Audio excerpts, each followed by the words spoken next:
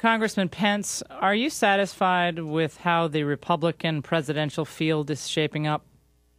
Well, uh, I, let, you know, let me be candid with you and tell you that I, I was disappointed uh, that uh, Governor Mitch Daniels um, uh, chose not to enter the field. I, I, uh, but I not only respect his decision, but I admire uh, his willingness to put his family first and to um, um, to make make those priorities real uh, in his life. I know he knows he did in his heart did did the right thing, and I'm sure it was the right thing for him. But when you look at what he's been willing to do and has done in the state of Indiana, uh, a state where I'm I'm aspiring to and, and seeking to succeed him as governor. Yeah, 2012. Uh, he he basically inherited a state that was a microcosm of of our national government. Indiana had run seven consecutive years of deficits, had 700 million dollars in debt, and and under Mitch Daniels as governor, without raising taxes, in fact they cut taxes. They squared the books in four years. We're back in the black. They've become the fiscal envy of right, but he's country. not running. I mean, this is all great, and I'm, I'm Yeah. glad for Indiana. I love Well, Indiana. I love I'm the just- people of Indiana. It's just not working. But we're not. We're not. We don't have him running. Well, uh, yeah, and that that that accounts for my disappointment. But The I'm also proud of the job he's done.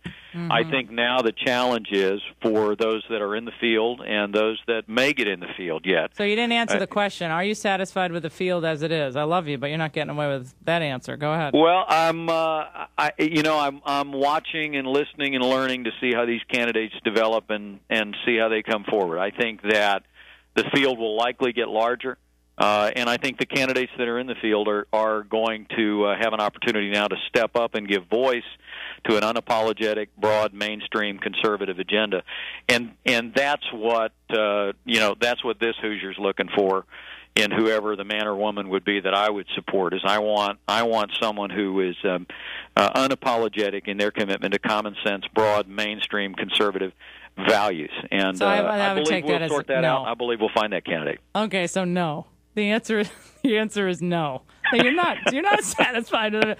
Mike, I've known you for so long, you know, I can just tease you. So no. No, no, no. Uh, Congressman, I just got an uh, an email last night from a very close friend of mine in Texas Yeah. who is uh, you might even know him, but he's he's uh, he's very politically plugged in. I can't say more otherwise I'll, everyone will know who I'm talking about. Okay. He said he said that in a matter of days he expects Rick Perry to announce that he's running for president. Would that surprise you? The governor of well, Texas. Well, I, I think uh, I think Governor Perry has done a great job in Texas. Um, I I uh, I think there's been a lot of talk about that over the years. I, he's he's eschewed that uh, recently, but um, I think he would uh, I think he would be a great competitor in the field. Uh, and I you know and I think you know the water's warm. There's others that could get in. I think uh, you know that that the the important thing is that we um, that that we uh, continue to stand unapologetically for the broad mainstream conservative values uh, that still need a uh, candidate, that minted though, the right? modern uh, National Republican Party. Right. Well, we we we still need a candidate, and now Yeah. that you're not running, you you that broke my heart that you weren't running. I can't go back to this. I, I go back to the same point uh, that Mike Pence should have been running for president. I've been saying this for weeks now, but uh, what are you, are you already uh, you're already underway though in the campaign for governor, right? Yeah. Well, number one, thanks. Thanks for your esteem. I always tell people my only ambition is to be esteemed by people that I esteem, and so your Aw. encouragement means a lot. But Yeah, But you know, our uh, my, we we announced a couple of weeks ago. I'm a candidate for governor of the state of Indiana. My heart is in Indiana. My only ambition now is to have the opportunity to build an even better Indiana um, in uh, uh, beginning in the year 2013. And um, uh, You're but I gonna win. appreciate your confidence.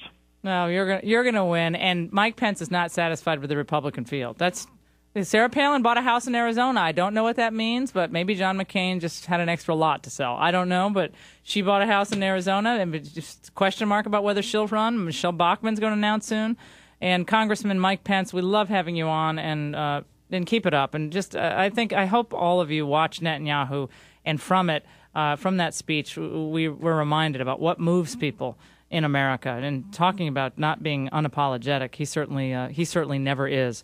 And Mike, we appreciate it so much. You take care of yourself. Thanks, Laura. Great to be on. All right, Congressman Mike Pence, soon to be, of course, right around the corner, the governor of Indiana.